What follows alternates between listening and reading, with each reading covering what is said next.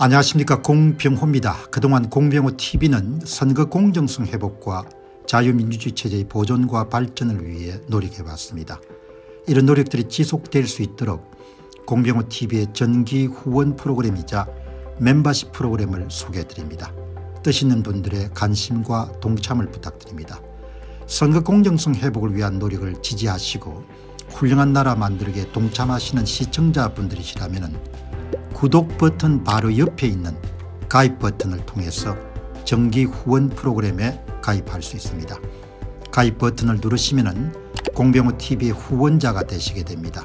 여러분의 후원이 선거 공정성 회복을 위한 노력에 힘을 더할 수 있을 뿐만 아니라 자유민주주의 체제의 수호를 그리고 발전을 통해 여러분과 후손들의 삶에 빛과 소금이 될 것입니다. 특히 그동안 공병호TV는 선거 공정성 회복을 위한 노력 과정에서 채널 성장에 제약이 가해지는 불이익을 감수해왔고 지금도 그런 불이익이 계속되고 있습니다. 그럼에도 불구하고 너무나 중대한 문제이기 때문에 공병호TV의 노력은 계속될 것입니다. 여러분의 깊은 관심을 부탁드립니다. 감사합니다. 자 다음 여러분들 오늘 이 참정권 회복 예. 다 숫자 때문에 걸려든 겁니다. 여러분 사람 믿습니까 사람 못 믿습니다. 예. 우리 윤 대통령이 이런 표를 주기 위해서 얼마나 열심히 뛰었습니까 그런 윤 대통령 대통령 되고 나서 뭡니까 탁 입 닦지 않습니까 그게 사람인 겁니다. 그래서 저는 뭐 그렇게 실망하지 않습니다. 원래 사람이 그렇게 생겼으니까. 구약 성경이나 이런 걸 읽어보면 인간이라는 것이 어떤 존재인 걸 너무나 리얼하게 알 수가 있지 않습니까 사람은 믿을 수가 없습니다. 너나 할것 없이 그러나 숫자는 정직하죠. 숫자는 조작했으면 조작된 숫자가 나오고 조작하지 않았으면 조작하지 않은 숫자가 나오는 거죠. 여러분 이거 보시기 바랍니다. 이게 2020년도 4.15 총선의 충남 선거 데이터입니다. 관내 사전투표 득표율 빼기 당일 투표 득표율입니다. 11개 선거구입니다.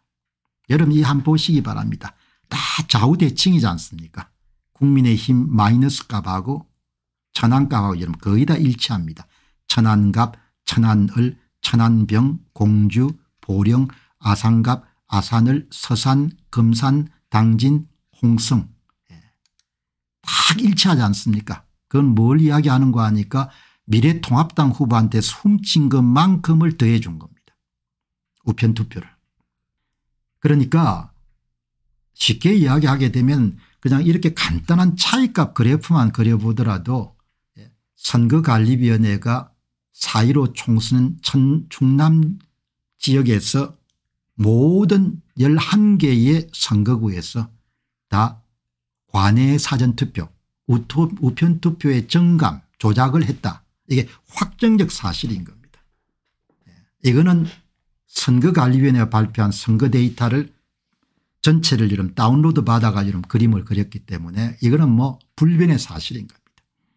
선거관리위원회 사람들이 결국은 한국 사회를 다 이런 삶아가지고 그냥 묻고 이런 벌 받지 않고 넘어갈 수는 있을 겁니다. 지금 뭐 분위기가 그렇게 돌아가니까. 그러나 숫자가 정언하는 바는 선관위가 부정선거를 했다. 선거 사기를 쳤다. 이걸 이야기를 하는 거지 않습니까 여러분 이 한 보시기 바랍니다. 이렇게 한 사람들이 이걸 보시게 되면은 이게 제야 H님이 작성해 준 겁니다.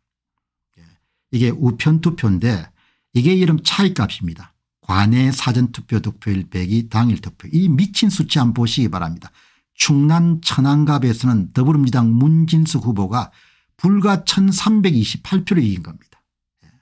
당선과 낙선을 바꾼 겁니다. 얼마나 조작했느냐 더불당 후보는 차이값이 플러스 16.68% 미래통합당은 마이너스 16.03%입니다. 무슨 이야기인가 하니까 한 16% 정도 훔쳐가지고 16% 더해 준 겁니다. 그러니까 총선 같은 경우는 100표 예, 200표로 차이 나는 경우도 많기 때문에 당락을 금세 바꿔버릴 수 있는 겁니다. 여러분 여기서 보시게 되면 7번의 충남 아산을 보시기 바랍니다. 더불어민주당 강훈식 후보도 당선자와 낙선자를 바꾼 경우에 속하 아 여기 저 예. 이명수 후보 보시기 바랍니다. 6번 충남 아산갑 이명수 후보 564표 차이력인데 어마어마하게 조작했는데도 아슬아슬 이분은 운이 좋습니다. 15%를 조작한 겁니다. 우편투표를 15% 훔쳐가지고 15% 더해준 겁니다. 이렇게 나오는 겁니다. 이렇게 조작했는데도 국힘당 후보가 이긴 겁니다. 이거는 미친 수치입니다. 이 차이가 관내 사전투표 득표율 빼기 당일 투표 득표율. 그러니까 양심의 문제지 의지의 문제지 이거는 사람이 갖고 있는 지식의 문제는 아닌 겁니다. 대한민국 부정선거를 확정적 사실로 받아들이는 거하고 해결할 수 있냐 문제는 지식의 문제도 아니고 그냥 예, 그냥 그 사람이 갖고 있는 정체성의 문제고 인간 자체의 댐댐의 문제인 거지 전부 다 조작을 한 거 아닙니까 예. 이걸 그래프를 그려보면 이렇게 나오는 겁니다. 그러니까 이게 이 사람들이 숫자를 만졌기 때문에 뭐 그 다음에 할 이야기가 없는 겁니다. 아니 숫자란 게 더하기 빼기 한 거지 무슨 뭐 숫자를 우리가 만진 게 아니기 때문에 이 보시기 바랍니다.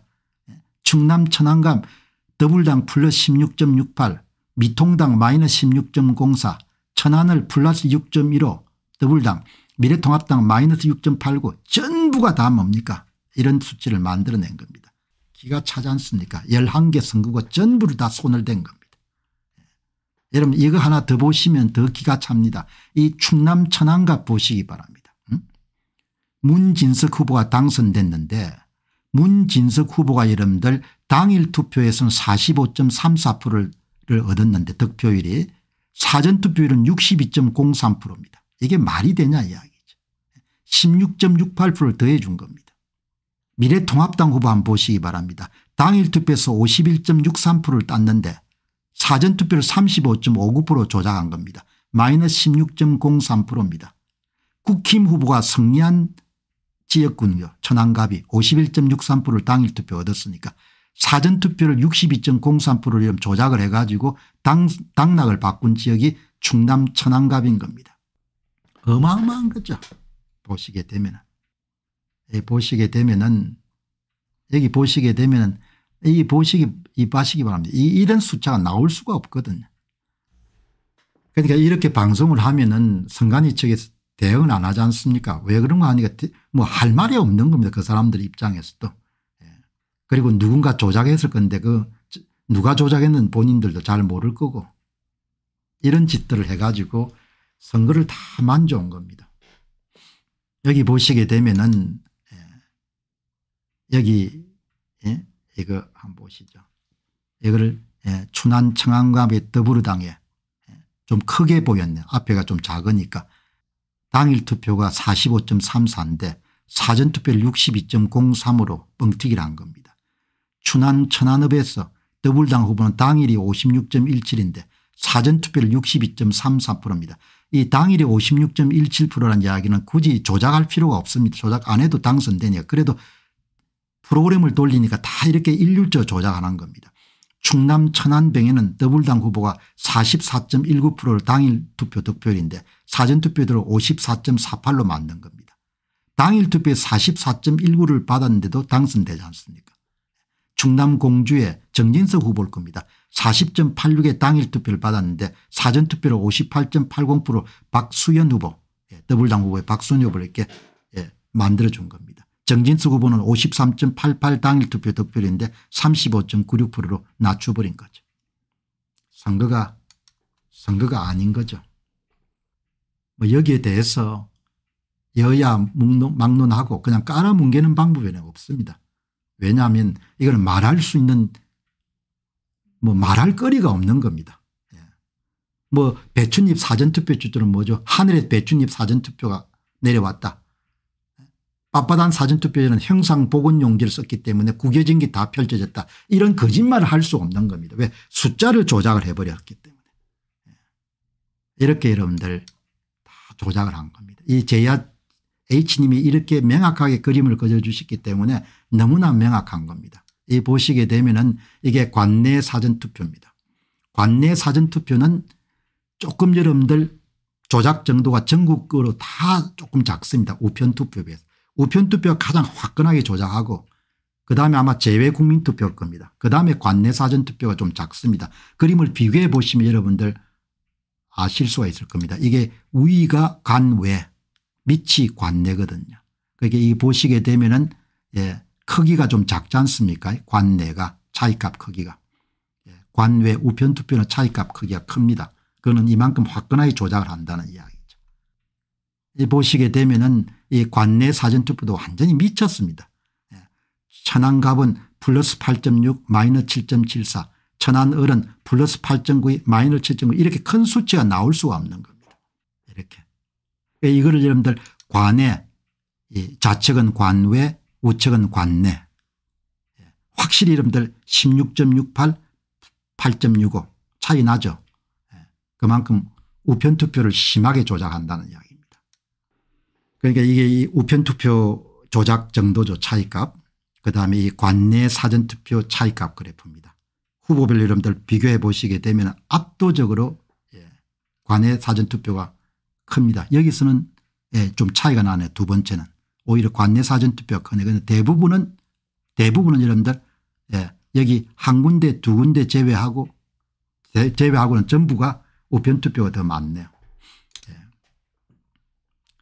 여러분들 이게 이제 11개 선거구를 가지고 충남을 본 거고 예. 그러면 이제 보시게 되면 이 충남에는 207개 읍면동이 있습니다.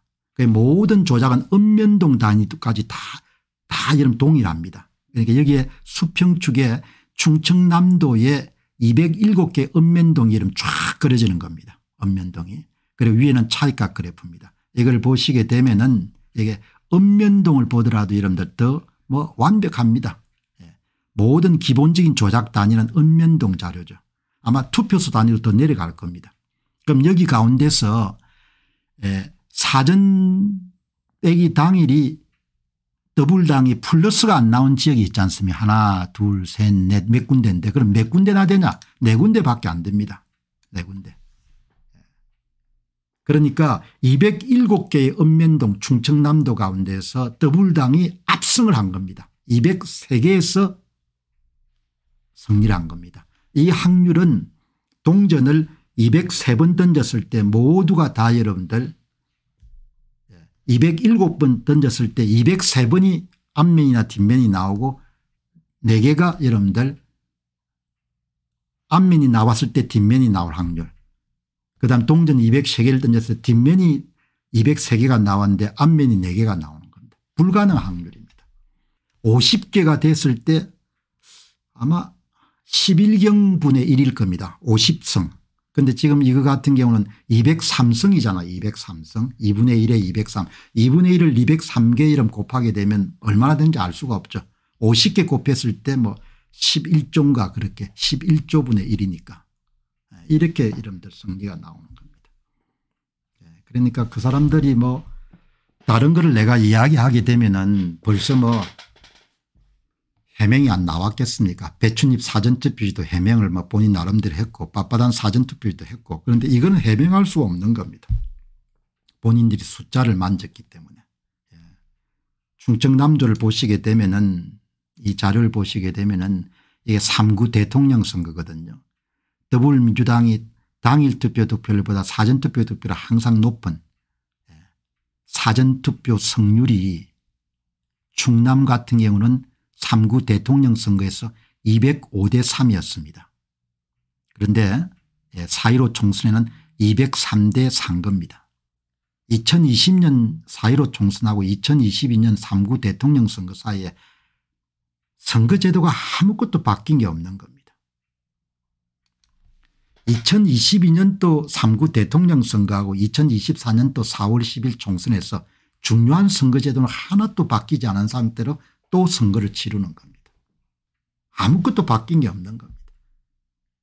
QR코드를 뭐 바코드로 했다는 그러니까 그건 QR코드는 투표 결과에는 영향을 미치지 않으니까 국민들의 투표 성향을 이런 파악하는 데 도움이 될 수 있을지 모르겠지만 선거 결과는 영향을 미치지 않으니까 지금 이런 상황이 된 겁니다. 제가 아주 냉정하게 선관위가 발표한 데이터를 가지고 여러분들 이야기하는 거니까 그분들도 별로 할 이야기가 없을 겁니다. 대한민국 공직선거의 문제점을 파헤친 첫 번째 책을 펴냈습니다. 제목은 도둑놈들 1권 선거 어떻게 훔쳤나 2017년 대통령 선거로부터 2022년 대선과 지방선거까지 전산 조작을 이용해서 후보별 득표수를 어떻게 조작했는가를 낱낱이 분석한 책입니다. 선거를 바로 세우고 나라를 바로 세우는 일에 여러분께서 힘을 더해 주시기 바랍니다.